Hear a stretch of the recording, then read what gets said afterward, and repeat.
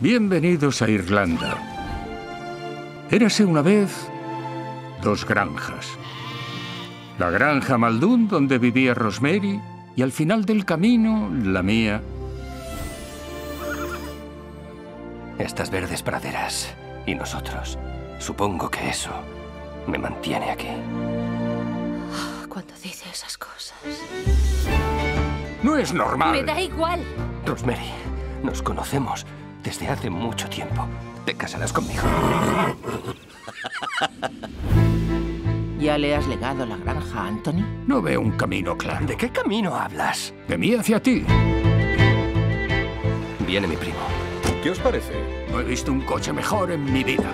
¿Vas a vender la granja a un americano? ¿Esperas a ese? ¿A quién esperas tú? Yo no espero. Anthony nunca se casará. Si hace falta, me congelaré los óvulos. Podrías congelarte todo el cuerpo y seguirías esperando.